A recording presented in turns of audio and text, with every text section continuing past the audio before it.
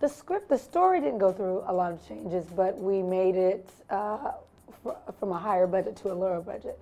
So as a director, I just had to, you know, make some tweaks to the scope.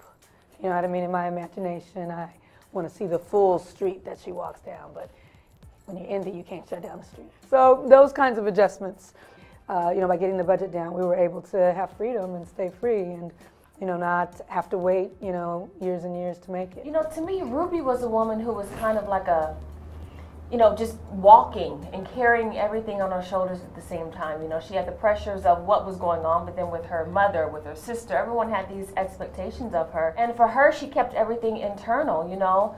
Um, and as a result, it caused her to make decisions and, and uh, not really go to anyone for advice. And for me, it's very different from how I am. I'm much more demonstrative and extroverted, and I might tell you how I really feel. You know, where, where Maybe sometime when we met. Yeah, I think it was the second. Yeah, the Yeah. second audition when we met um, was in the room. I had seen her on tape, um, and because she wasn't even uh, uh, submitted, she wasn't even auditioning for Ruby.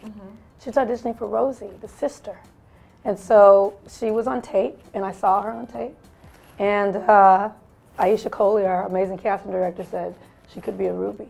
So we, I, looked, I watched her on tape, and I was like, wow, she's really great. Saw her in the room, put her through the paces, little rigorous acting workouts. she did well, and that was it.